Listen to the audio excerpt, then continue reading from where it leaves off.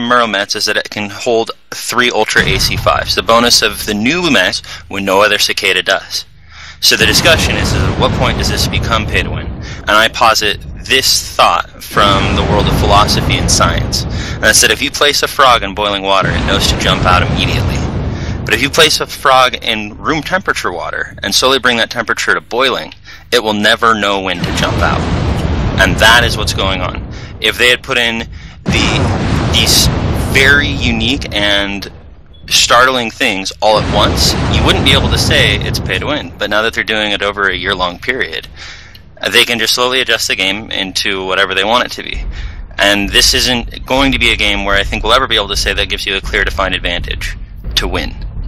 Because there is skill. It's like you can take it you can take eight Jenners and beat eight Atlases. Even though their firepower vastly out measures you, you're going you can still beat them theoretically. I am not completely sold. I am watching them very closely with what they launch and what they tweak and change. I'm I'm not completely sold on the pay to win thing, but they are running a fine line with the pay to win with a pay to, to win on the MC only on Hero Mechs, I guess you could say.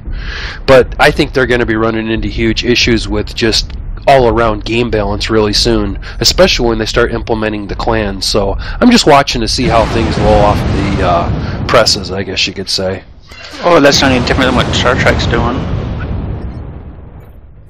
Well, the bottom line to it is these companies need to make money to keep the game going. So, I mean, well, you say that this game is pay to play. You go to Star Trek. If I get a lifetime subscription, because I play Star Trek Online too, it's pay to play because you get that and you get every single incentive up to that point when you get in, so you don't have to wait till 400 days, 600 days for all the special stuff. You get it right then and there. Right.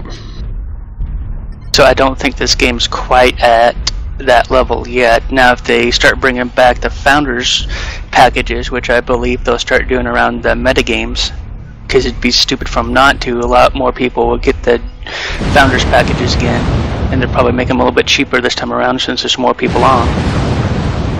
Well, from what I've seen, the uh, subscription levels for this game aren't really that hot, anyways. So I imagine they will bring back the founders packages because without a they, they're going to need a lot more subscriptions, or I mean, a lot more people playing this game for long-term survivability, anyways. Because from what I can tell, there's not a huge encompassing lot of people playing this game. So, so we already know that if it comes back any type of package, it won't be a founders because that would be QQ explosion on the forums. Um, it will be like the Merc Raiders package or the Periphery package.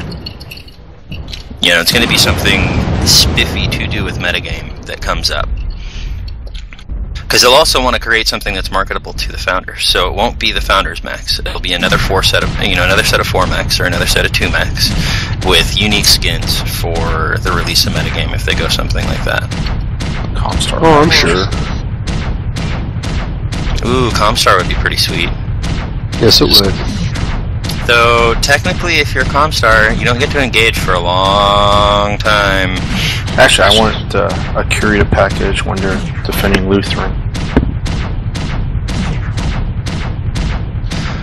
Uh, though it would be kind of fun because you know Comstar, they just sort of like, oh, clans are new people to listen to, so you know they were responsible for policing planets in many situations. So if you got you know that special Comstar Founders package, you could just go around and stomp bugs in the inner sphere for fun. Are we one or two years away from that event?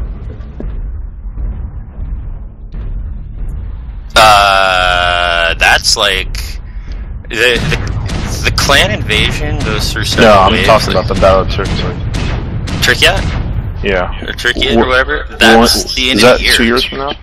It's way sooner than that.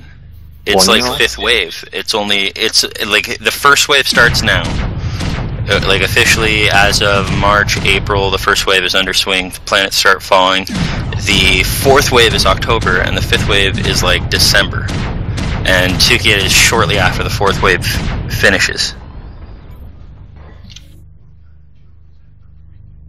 User joined your channel. We should drop down with Ronan oh and get this drop out of the way. I gotta take off. Yep. User left your channel. User left your channel. User left your channel. Hello, hello.